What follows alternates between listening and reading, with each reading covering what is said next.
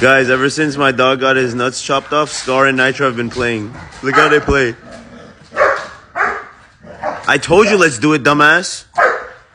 You guys, it sounds scary, but this is all play.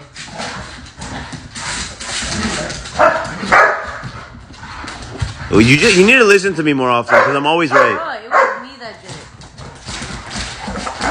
Oh my gosh. That's some crazy play you got. Get him, Bobby Jr. Hey,